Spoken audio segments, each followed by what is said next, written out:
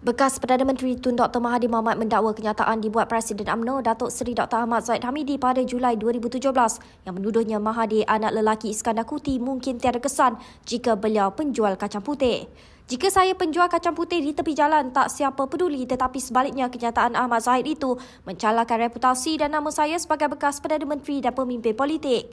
Dia tidak sepatutnya menipu kata-katanya diambil serius oleh orang awam. Saya di sini untuk membuktikan dia menipu sebagai ketua parti politik. Dia Ahmad Zahid tidak sepatutnya menipu, katanya ketika memberi keterangan sebagai pelantif dalam kes saman terhadap Ahmad Zahid di Mahkamah Tinggi Kuala Lumpur.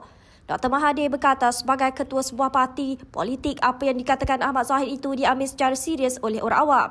Ketika menjawab soal balas daripada Peguam Muhammad Syahrul Fazli Zaman yang mewakili Ahmad Zahid, Dr. Mahathir berkata, pada peringkat awal selepas video kenyataan Ahmad Zahid itulah beliau menganggapnya sebagai kenyataan politik dan tidak diambil serius oleh orang ramai.